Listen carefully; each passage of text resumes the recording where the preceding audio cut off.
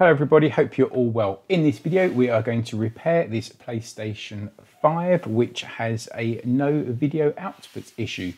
So when you power it on, uh, it boots up to a white light, which is absolutely fine.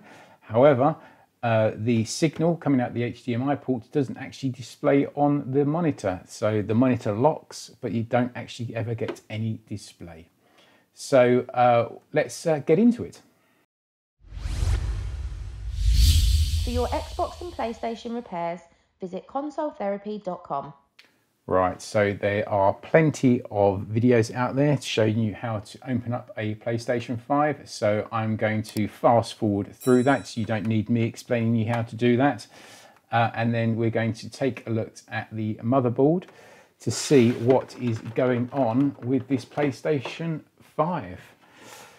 Good news is this one hasn't been opened, so I'm wondering whether it's just an HDMI port.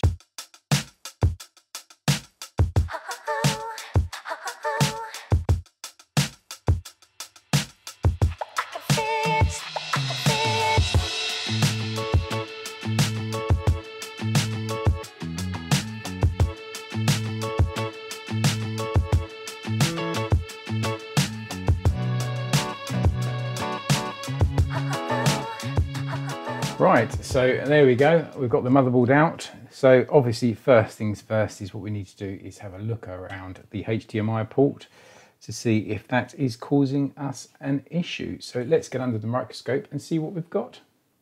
Right, so here we are underneath the microscope. The HDMI port itself does look okay. Uh, doesn't look damaged physically in any way and the output side looks okay as well. Just check that.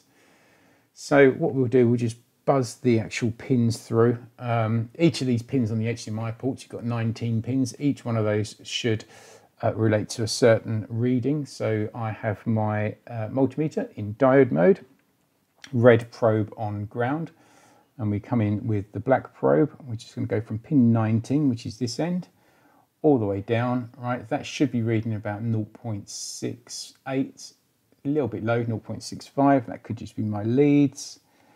Pin 18 should read around 0.5. Yeah, that's a little bit high as well, 0.64. Uh, this is ground, that should be pretty much zero. Yep.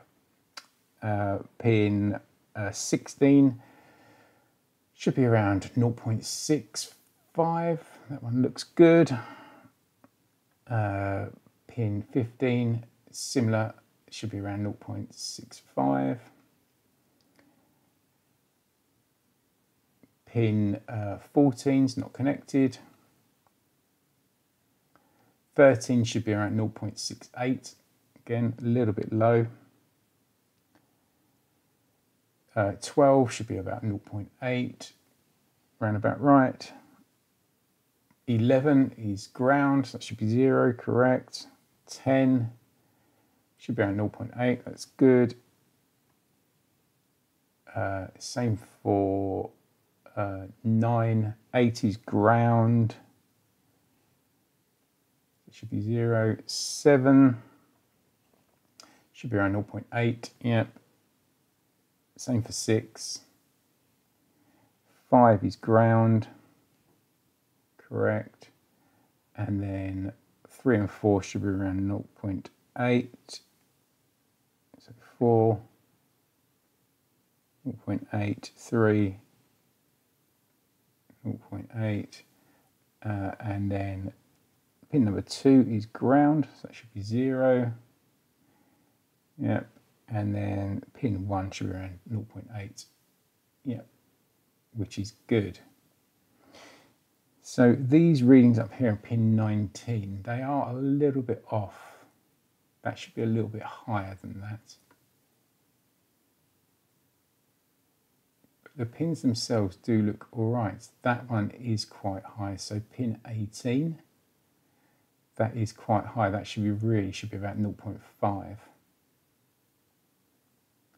So that doesn't actually point to a problem in the HDMI ports. Well, just noticed, I don't know if you can actually see,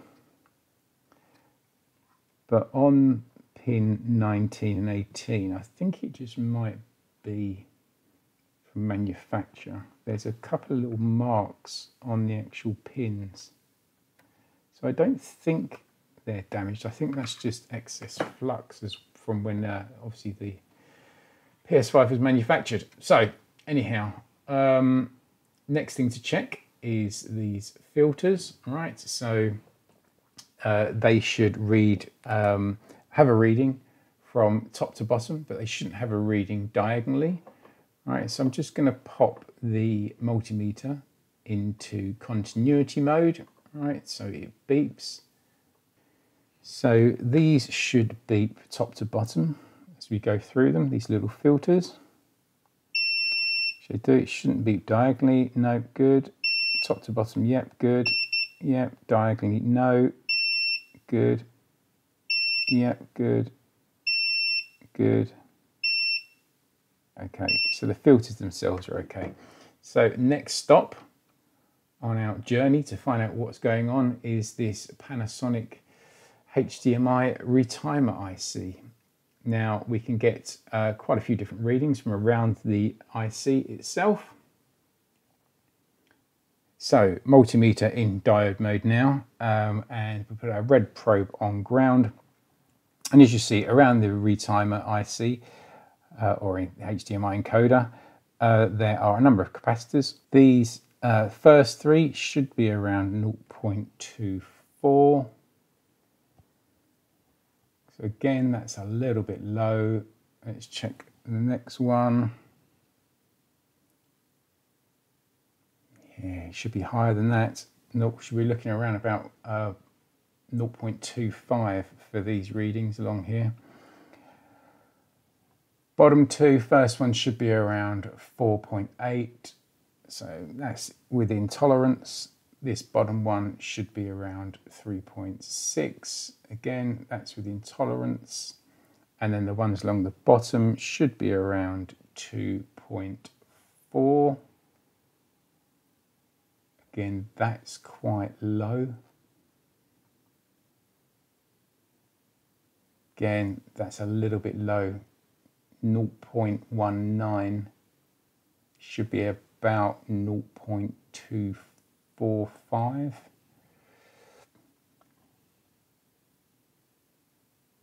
That one's a little bit higher. I think, was it? Let's just check that one. Yeah, 0.19.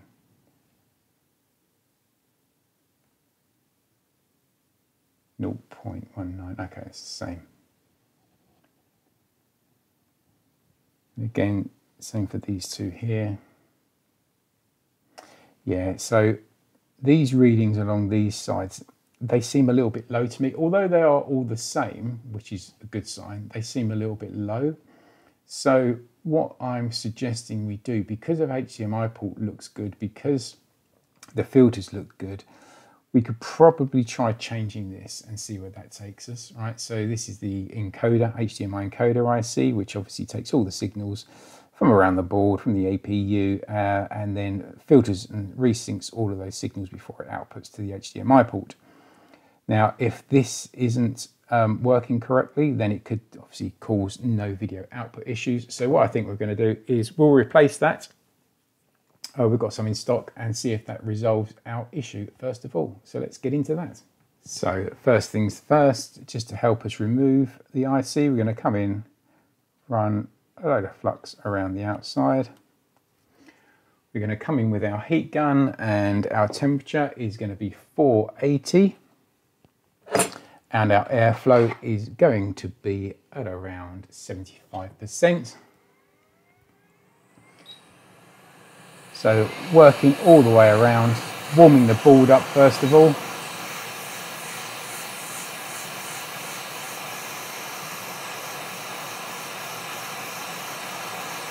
Making sure the whole area gets nice and warm.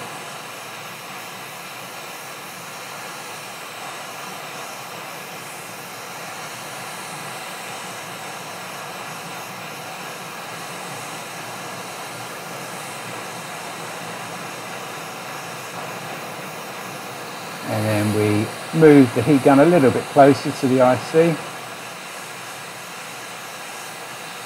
Moving it around constantly.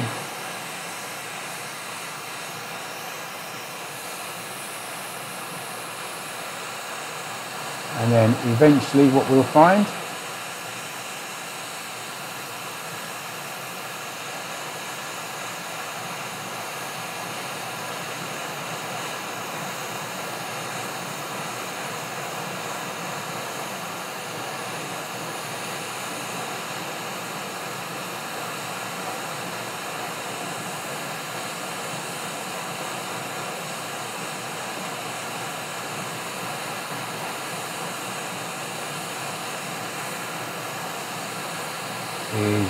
gently lift off the IC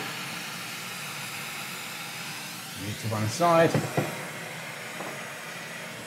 Now while the board is still warm, what we're going to do is come in with some solder wick, remove the leaded solder that it was manufactured with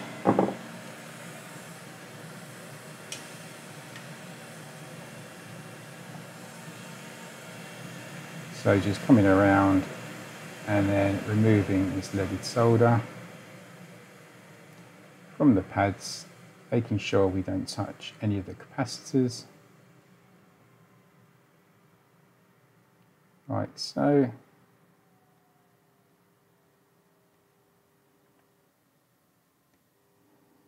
Just remove any of that from there.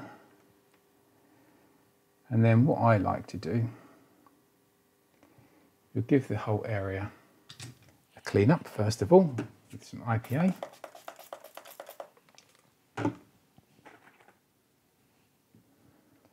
So you clean up the whole area. Now, because these Panasonic ICs, they've got multiple pins on them, they can be quite tricky to solder back on to the board. So what I like to do is actually use some solder paste. So what we do is just run a solder paste across all the pads. Now this solder paste has got flux already built into it, right? So you haven't got to worry too much about bridging the pins because the flux will actually pull out uh, any bridges correctly. So we come in with our replacement IC. Now this one is pulled from a donor board. So it's pretty much already pre-tinned, right? So it's already got solder on there from the previous. Sometimes what you can do is actually just pre-tin the, uh, the IC itself. But this is already pre-tinned, if that makes sense, because it's from a donor board. All right, so what I like to do is just line up the IC roughly. You don't have to get it bang on, right? That solder paste then grabs the IC for you, which is great. Then come in with our air gun and we have dropped the airflow to 50%. Just place your tweezers on the IC so it doesn't move too much and then come in and just gradually warm up the outsides like so. And then what you'll see is the solder paste will obviously start to melt. Once the board gets up to temperature as well. All the way around.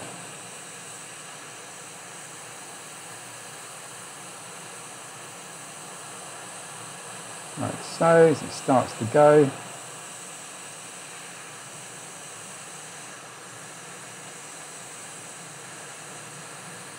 You can then remove your tweezers once it's starting to melt. Keep moving the heat gun around. And then what you'll find is the IC will jump into place. It just jumped into place there. So keep heating, keep heating. Give it a tiniest a little bit of nudge just to move it into the right position. Press down on it a little bit. You can manipulate it. It's really easy to align and get into place. Like so.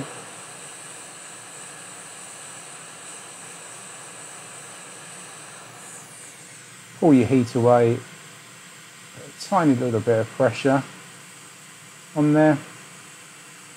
What you can then do, come around a little bit more flux. Come in with your fine tip soldering iron. And then just solder away any excess solder. Like so. Spin the board round.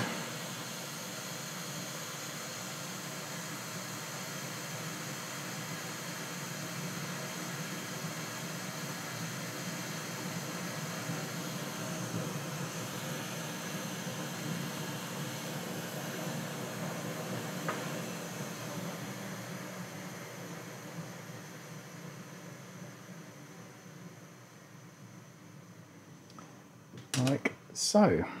Now give the whole area a good clean up. Give it a good dousing and then give the whole area a good clean. Now the thing to remember is because you've used solder paste, solder paste essentially is flux and very, very small solder balls. So you do need to make sure you clean the entire area really, really well. Okay, mop up any extra solder balls that you might see. Normally it's quite good to be honest, so but just keep an eye out for them. So wipe over the whole area. We'll give it a proper clean up later, but as you can see, the alignment is pretty goddamn good, right? I mean, it probably could do with moving maybe a micromillimeter across to the left, but all of the pins are connected, right? So using the solder paste, I just find it's just a bit of a quicker and easier job just to, um, you know, get the chip aligned. So I'll finish up clearing up the whole area and then what we'll do is give it a test. Right, so here we go, just temporarily put back together for testing. Let's push the power button. Here we go, blue light. And do we get any video output? Yes, we do. There we go, fixed. Right, so I need to put this all back together again. Um, let's, uh, and then get it tested.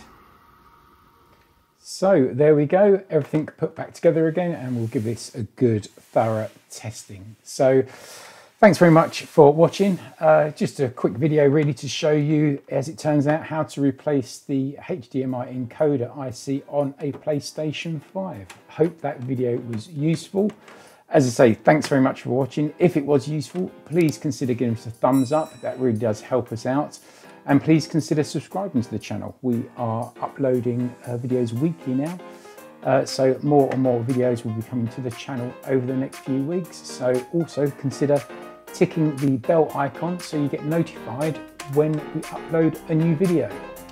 Thanks very much for watching. Take care of yourselves. Bye bye for now.